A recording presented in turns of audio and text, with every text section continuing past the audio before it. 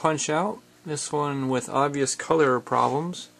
I believe that is the bottom screen. Let me flip this. That's the top screen. And that's the bottom screen. So you can see the colors are way off. So my first suspicion is it's something to do with the palette, color palette. And that's on the small board here. And that generates the actual RGB signals that get sent to, there's two pairs of them. Well, I'm sorry, there is a pair of them uh, because there's two monitors, one for the upper and the lower. And I actually managed to find a schematic for that guy. All the other uh, PDFs that I found online only included the uh, the video and CPU board schematic, but there was one version I found that actually had the background uh, board schematic. I believe it's called CHP02 back. So I'm assuming it's for it's got background tile information and some other color stuff. So anyway, um, these are the signals that get sent to the monitor, RGB for each of the monitors, and there's proms, color proms associated with those two, and those guys are here, uh, right here.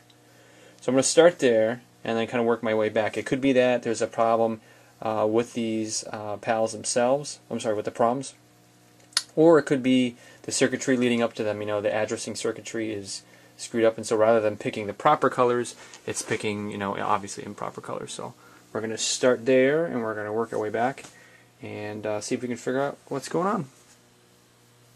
Okay, now what I'm doing is just taking the ROMs, I'm throwing them in, the proms rather, color proms, throwing them in my programmer here, and I have the MAME source, the actual contents uh, of the proms that, that are known to be good. Um, I'm loading them up from the MAME source into the programmer here, and basically it'll read the prom and just make sure that they match. So let me see if I can find it here. This is actually the chip located at 7E. So we're going to head and read that in, and then I can do a verify. Da -da -da. And we're good. So I'll do the rest of the proms, and that'll at least let me know if the data on the proms uh, is valid. In other words, it'll let me know if I have bad proms or not. Alright, so I took a look at the contents of the color proms and they all check out okay, which is good. Takes that out of the equation. Um, this is the background board schematic. And so to kind of give an overview of what this guy does, uh, down here we have player sprite information, we have opponent sprite information, and then over here is all of the background sprite logic, um, ROM and, and memory and stuff. And so what happens is that all gets funneled over here this data from the other PCB, this is the other, this is the video PCB, this handles all of the player and opponent sprite logic. Comes in through here and gets muxed here. And then eventually that finds its way through the color proms and you have your RGB. So this is kind of a block diagram of what's going on in that board. You have your opponent sprites mixed with your player sprites, mixed with your background tiles, and it all gets through a, a, final mux, and then that's your address that goes and picks out a color in the color prom. You have your RGB. There's there's separate color proms for each color. And so, what are we seeing on that bottom screen? Is it just the opponent sprites that are screwed up, or the player, or the background tile? No, it's all of them. They're all screwed up. So we know this is fine. So what's the likely culprit? It's this guy right here. Um, one thing I did notice by looking on the board is that this chip is supposed to be, let me see if I can grab my marker here. This is supposed to be an LS, uh, let me spin this around, 353. And I actually looked on what's in the board, and somebody mistakenly put in a bunch of 153s. And so what's the difference between a 353 and 153? If you look at the picture, it's a little bubble. And that bubble makes all the difference because what that bubble is is an inverter on the output. Okay? And so we're supposed to have that inverter. We don't have that inverter. We're missing it. And so what does that mean? That means if you look at a piece of memory, this color prom, for example, and as far as the addressing goes, you have, you know, zero zeros is the smallest entry in this palette table, and then FF is your largest. Well, what if you invert that, right? You just, you're basically flipping the entire table over, and this becomes zero zero. And so the colors that you're supposed to be picking are totally at the opposite end of the table. So this thing's, you know, obviously not picking the proper colors, and that that's what we're seeing. And so what I plan on doing is just ripping out the 153s. I'm not sure why somebody threw them in there. Maybe they just made a mistake. And then throw in some 353s and see if that's the problem.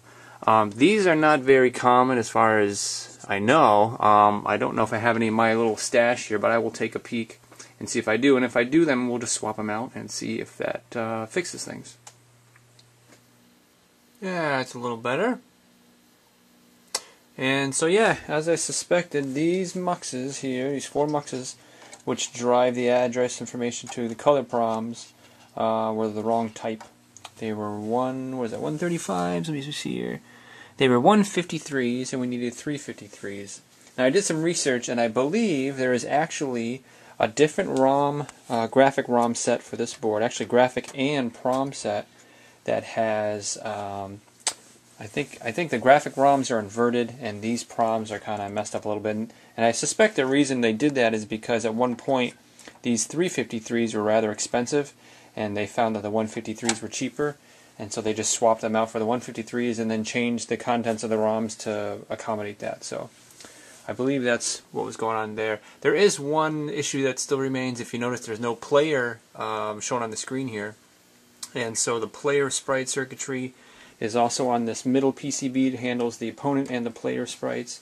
And so I'll have to go through that and figure out what's going on there. But we are almost there. The other monitor, I believe, is just fine. Let me see if I can reach over and flick that. Yeah, so that's looking good too. So yeah, just one more remaining item, and I think this guy will be good to go. Alright, so I have my uh, EEPROM burner here, and these are the ROMs for the uh, for the Challenger, which is the green guy that you can kind of see through. And so what I did is I read the contents from that ROM uh, and displaying it on the screen here. And you guys probably can't make, can't make out the characters, but they're up there. And then over here on the other screen, I have um, the data from the MAME ROMs. And I don't know if you can tell, you probably can, I'm sure, because of the quality of this video, whatever, but the data is actually inverted. I don't know if you can see it here. So there's a bunch of FFFs, and then over here, it's all zero zero zeros. And that confirms my suspicion that, you know, for whatever reason, they decided to swap out those buffers. And if you do that, now you have to come up with a whole new ROM set, and you have to invert all of that data. And so that's what I'm seeing here.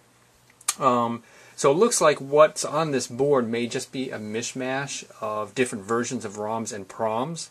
Um, and, but luckily, you know, these are these are EEPROMs, so we can simply erase them and then reprogram them with the proper version, uh, which is what I'll do, and that's the version here in MAME. So I'm going to try that. I'm just going to wipe these guys out, load them up with the version that's in MAME, and that should clear everything up with respect to the uh, for the Challenger ROMs and the graphics and everything that we're seeing. There we go much better. So this guy, if you look at the schematics, there is different section of the logic uh, that's that's marked CHL, and I'm assuming that's for the challenger. So that's all the stuff that blitz this guy, and then CMP, and that's the champion, and that blitz all this stuff. And so yeah, that's all it was was swapping those ROMs out with an inverted set, and we're all set.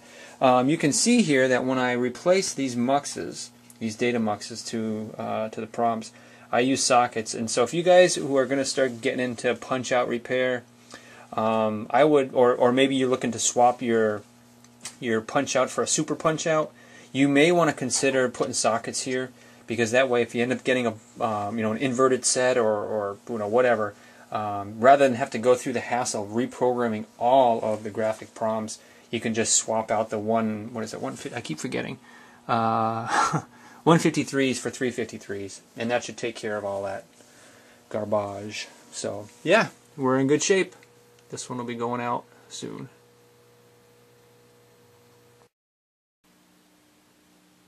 Alrighty, here we have a Super Punch Out PCB. As you can see, it's got the extra little daughter card here. And this is what we're getting. Complete garbage on the lower screen and likewise garbage on the upper screen. And so first thing I check when I see something like that is the reset. You know, is the watchdog barking?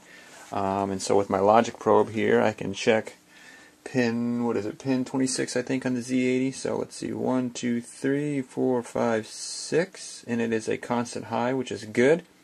And if I check some of these other signals like the reads and the writes, you can see that they're toggling. And so the CPU is actually doing something, and the fact that the watchdog is now barking means it's actually doing what it's supposed to be doing. It's executing, you know, program code from the program ROMs, which are down here, and it's able to access the ROMs and the RAMs and everything else it needs to to, to work. So It may be that the CPU board here, this top board in the stack, is fine, and there's something going on with the video PCBs. Um, one thing that's unique about um, this game in particular, and some of the other Nintendo games have it as well, is what's called DMA. And so what the uh, what this PCB does is it takes graphical information, it dumps it into these RAMs down here, and then while a video blank happens, it takes a copy of those contents and dumps them onto the two graphics PCBs down here. And then that's the information that actually gets sent to the sprite ROMs to boot the sprites to the screen. So maybe that all this is fine and something DMA is kind of sketchy going on, uh, but we'll see. I'll I'll take the uh, you know I'll take the fluke as usual, throw it on here, and see if I can figure out if the ROMs are okay, which I'm you know I suspect they are because things seem to be uh, working. Just looking on the pins here, and the RAM too. I'll do RAM checks and all that good stuff and see what's going on. I have a suspicion it's the DMA, but we'll see. Okay, so we're a little bit closer. Uh, I got the game to boot, and there are some graphics glitches. And so what I found was the DMA circuitry was actually fine. Uh, the RAM checks were fine. The ROMs were completely off. Every single one of these ROMs was wrong. Not only was it wrong, but uh, when I did my SIG checks with the Fluke, I would get a different signature every time. So it's almost like some of the bits inside the ROMs, whenever I would read them, would return a 1, and other times when I read the same exact memory address, they'd return a 0. Um, certain bits. And um, so I don't know. It was it was really interesting. And and I have to say I've never had a case where I've actually had a bad set of ROMs and the process or the watchdog rather was not barking. I mean, this is the main program here for the game, and so usually if that's screwed up, then the program will get lost in the weeds, and the, the watchdog will start barking, and that was obviously not the case, as we saw with this guy. So, um, so yeah, some of the sprites are actually fine, some of the graphics are fine. Let me switch over to the other monitor here. Oh, it's too late. Um, but yeah, I mean that looks fine. The colors are obviously wrong there, so I'll have to take a look at that. And as we saw uh, earlier, there was some sprite issues. There are definitely sprite issues, so um, yeah, and obviously some palette problems and stuff like that there. So still more to go. Uh, I think what I'm going to do now, now that I know that, um, I mean, it's, again, it's very odd too that every single ROM would be bad, but that's what I found here. So uh, given that, I'm going to take a look at all of the graphic ROMs too uh, while I have the programmer out, and we'll take a look and see if those are okay. Which I suspect they may not be, but who knows? Uh, we'll try them out and we'll see what's going on, and we'll go from there. Okay, so the graphic uh, ROMs were fine, but I just got done fixing a punch out where I had similar palette problems, and it ended up being uh, the muxes in this corner. And so, based on what I've been seeing and kind of the research I've been doing, I really think I'm just going to swap these guys out and see if that takes care of my palette problems. And uh, based on what I'm seeing with my other punch out and some stuff that I'm finding out as I go along here, I think that's going to do the trick. So. That looks better. So yeah, two for two. I think this is the second uh, one that I've done where I've had to replace the muxes there, and it seems to be okay. Uh, let's let this play through a little bit. We'll see if we have all of our sprites and the proper colors. Looks good. See the player. Awesome. So yeah, think this one is good to go.